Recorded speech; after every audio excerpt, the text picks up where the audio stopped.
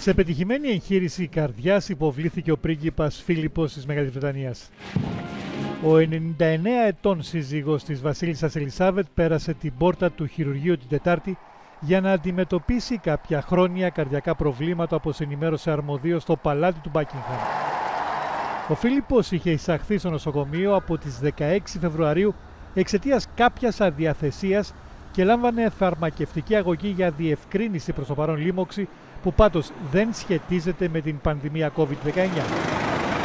Τη Δευτέρα μεταφέρθηκε σε διαφορετικό νοσοκομείο στο κεντρικό Λονδίνο με το παλάτι να ανακοινώνει ότι θα υποβαλόταν σε καρδιολογικές εξετάσεις και ότι θα συνέχισε να λαμβάνει θεραπεία για τη λίμωξη. Με βάση την ανακοίνωση του παλατιού, ο Φίλιππος θα παραμείνει στο νοσοκομείο Άγιος Βαρθολομαίος για αρκετές ημέρες ώστε να προχωρήσει ομαλά η θεραπεία του.